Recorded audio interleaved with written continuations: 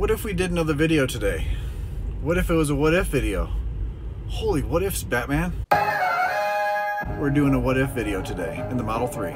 Buckle up! As usual, I got a whole list of uh, things here. Let me show you. Can you read them? Got a whole list of stuff to do. Uh, a lot of them are going to be parked, so I'm going to go to this uh, park up here and do a bunch of the videos there, and then some of them are going to be while driving. I'll break them up like that. Let's bust these out. What if I mixed them up a little bit? I could do that. I do edit these videos. I could do that. All right, the first one here. What happens if you put your foot on the gas and the brake at the same time? Well, you can see down here, I'm going to, I have my foot on the brake and I'm going to put it on the gas. You hear the beeping. It starts to go just a little bit, but once you push your foot on both, it tells you both pedals pressed. It won't let you go anywhere because the brake pedal actually overrides anything. Whether you're in autopilot, the brake pedal overrides autopilot and then it'll it'll bump you out of autopilot or cruise control.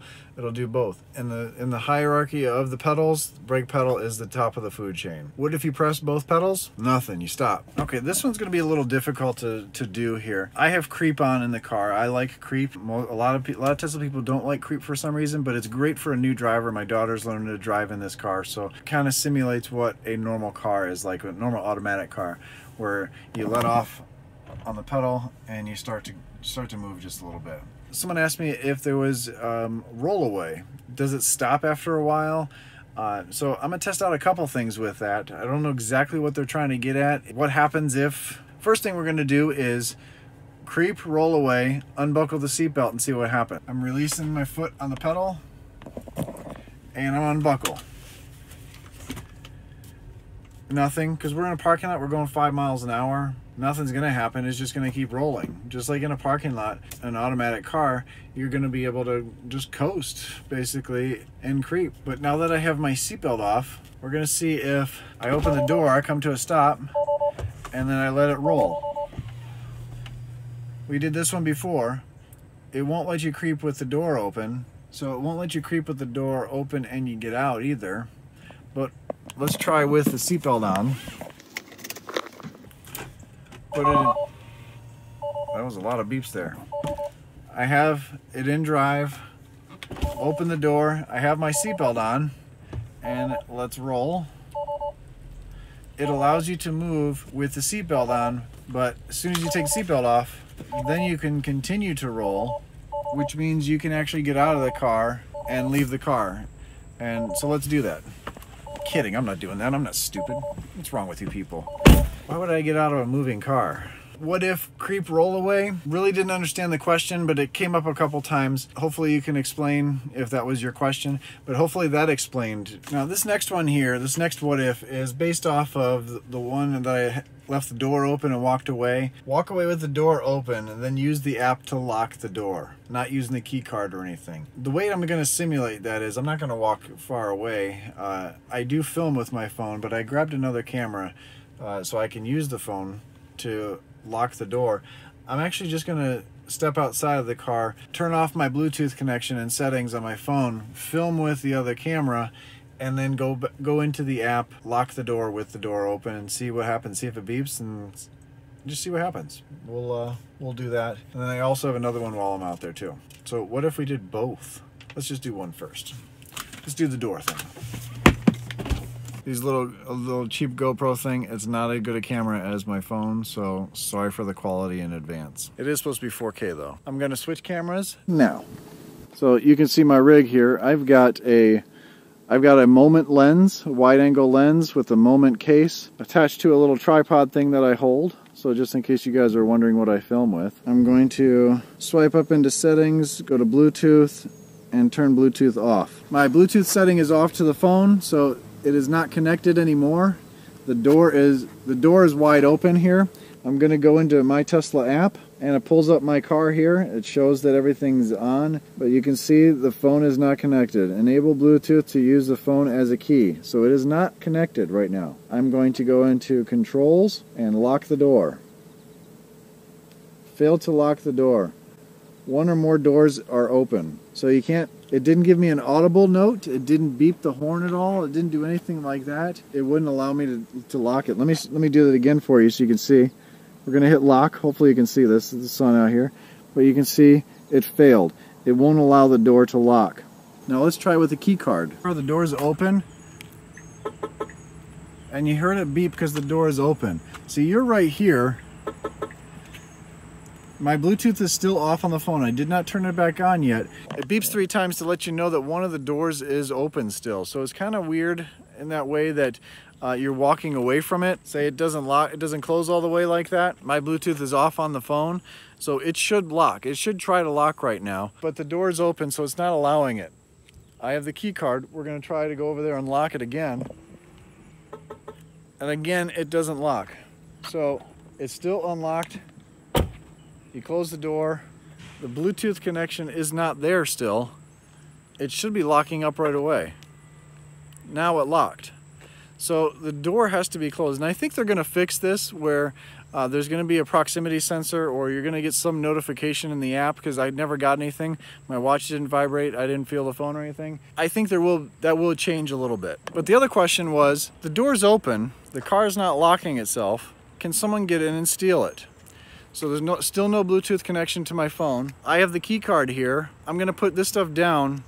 I'm gonna get in the car and see if I can move the car we're still far enough away. We're, we're far enough away where actually the, the phone should work actually, but everything is off. So we're gonna see if it'll work. And I got the other camera here. So what I'm gonna do is actually put my foot on the brake and see what happens. Uh, we can drive. That's not good. That's not supposed to happen. Maybe, maybe my Bluetooth isn't off on that phone. Let's go double check that. Bluetooth is off on the phone. I'm not sure if you can see that at all, but Bluetooth is off on the phone. That should not happen. That's not supposed to happen where the car can move. I just powered off my phone completely. Let's wait a little bit for the phone to completely shut down. So there's no signal whatsoever because my phone is off completely. The key card is still on the ground. Let's go over to the car and see if we can get in it and move it. This is a little confusing. So now it's wanting me the key card because the Bluetooth connection's missing from my phone and it was off completely, which is kind of weird because I did turn off Bluetooth. Uh, maybe there's still a proximity sensor in the phone to the car because it's not that far away. So probably if we put the phone way down there, it's not going to work. So let's try that.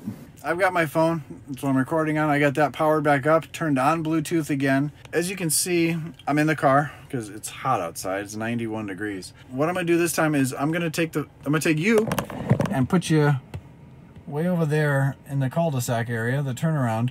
I'm gonna put you way over there. That's more than 30 feet away, but you only need 15 really. So I'm gonna put you way over there. I'm gonna walk back to the car with the other camera, see if it allows me to hook up. Because over here, we were only like 12 feet away. The phone was only 12 feet away from the car and allowed the car to move. So we're still in that range of the phone, even though the Bluetooth was off. There's still there still must be a Wi-Fi signal or some type of signal that is attaching that a, a perimeter distance uh, to the phone. So take you and throw you way over there. Well, not throw you because this phone's expensive. But I'm gonna put you way over there by the garbage cans and um, we're gonna see if this car can work. Now that we're back in the car, phone's way down there. We're gonna put it, my foot on the brake, put it in drive, and it wants the key card. So we must have been too close before. It wanted the, it wanted the phone. So one of the questions that keeps popping up is, what if I'm, what if I get out of my car, I walk, I'm walking away, but I'm only 12 feet away, 10, 15 feet away, and someone jumps in the car, can they drive away?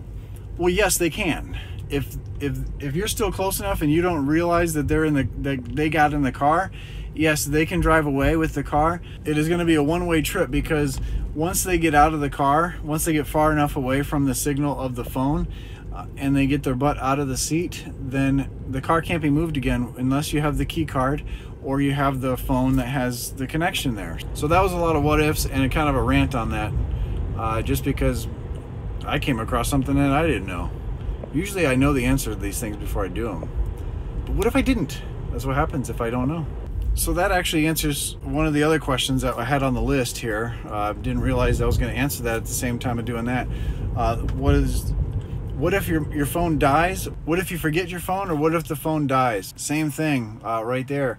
So what if you forget your phone in your book bag or you forget your book bag and your phone's in your car in the book bag in the garage? If it's close enough, you're still going to be able to get in the car and go, and, but then you're going to be stranded there when you get to wherever you're going. Uh, if your phone dies, once you get to your destination, uh, you want to continue on after you get out of the seat, you're going to need to use a key card or someone else's phone, log into their Tesla app with your login credentials. Then you can actually use that phone to actually start the car, but not actually use the phone as a phone key because then you have to have permissions for that. Maybe I should do a whole video on that. That seems like a lot. That's a big what if, but that just busted out like four questions. All right, what if someone left this in the charging door or the charging port uh, when you left a public charging station? Can you drive away? What if you just pull off the what is it, J1772 5789 plug? Yeah, this thing came out and stayed in the charging port. Can you drive with this? Does the screen tell you that this is still there? What goes on? Let's open the charging port, jam this in there, see if we can drive away.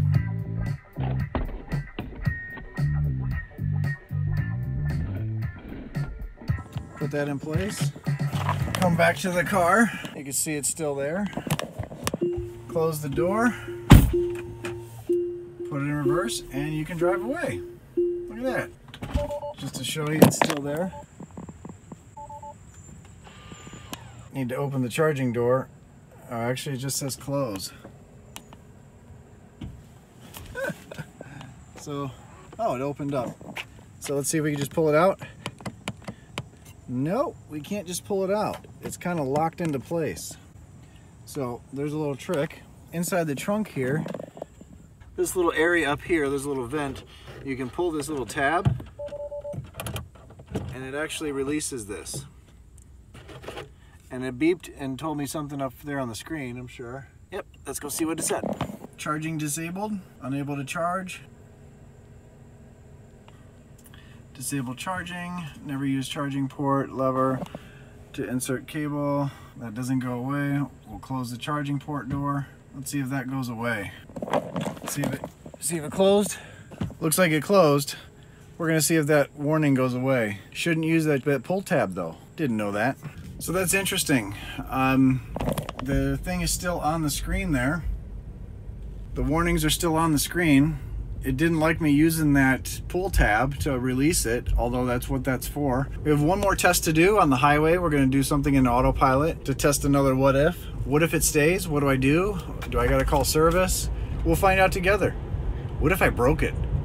What if I destroy the car? What if it doesn't drive anymore? Oh wait, I'm driving it. What if it can't charge anymore? What if I only have 221 miles to drive this thing and then it's dead? That's some scary what ifs. This next what if is what if you're driving and you go to change lanes? Uh, what if you go to change lanes on autopilot, but then you adjust the speed up while you're halfway through? We're going to, I'm gonna lower my speed to, to the speed limit. Autopilot change lanes, turn signal, and as I'm doing that, I'm going to adjust my speed and nothing happened. I'm going to slow way down to do that again. I'm going to change lanes and adjust the speed right in the middle and nothing happened. It actually changed lanes no problem. Adjusting the speed does not affect the changing of the lanes. So what if you change lanes and you change the speed? Exactly what would normally happen. You speed up on this update anyway, the latest update. What if, I just thought of this one, what if you're an autopilot sitting behind a car, zero miles an hour, stopped at a light, does the door handle work now? Since you're stopped in autopilot, no foot on the brake, no nothing, does it work? And yes it does. And it goes, it goes crazy. Did you hear that and did you see that? That was insane. I feel like I'm destroying the car today. I got lights going off on the dash, uh, red hands up everywhere. The car hates me today. I'm sorry. I'm sorry, Bob. I'll, I'll treat you better. Maybe I'll wash you tomorrow for doing this today. All right, I've parked the car in the garage. You can see that is still there. All the warnings are still there. Little exclamation point up here as well. And this pulses you can actually bring this over and it'll scroll through those three things that were over there. or you can just get it out of your way. Let's plug the car in. Well, that still works, and that's red. That's not a good sign. That's not a good sign at all. It might not charge. We are going to cycle the charging door because that has gone away now. That's closed. I'm going to open port. Now that is white. I'm to plug it in. And woohoo!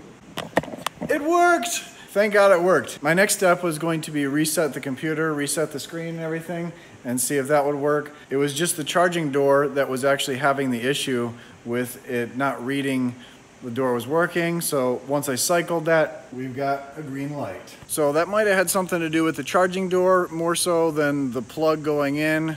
I did pull that string and it told me not to pull that, but now the warnings are off the screen. All is well. Although Bob did yell at me before I made the car explode.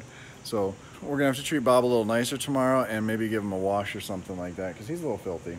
But anyway, if you liked the video, give it a thumbs up, subscribe to the channel, check out the links down below to save some money, Abstract Ocean. Excuse you, I'm talking. I'll see you on the next one. Take care.